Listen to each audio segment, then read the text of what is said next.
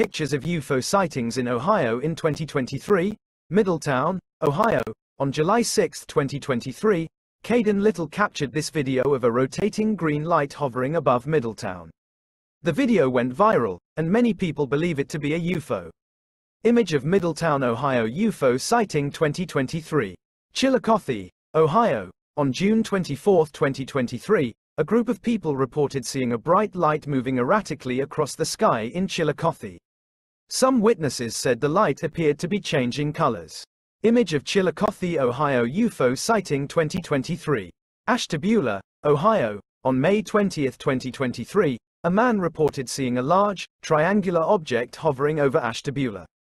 The object was reportedly silent and did not emit any light. Image of Ashtabula, Ohio UFO sighting 2023.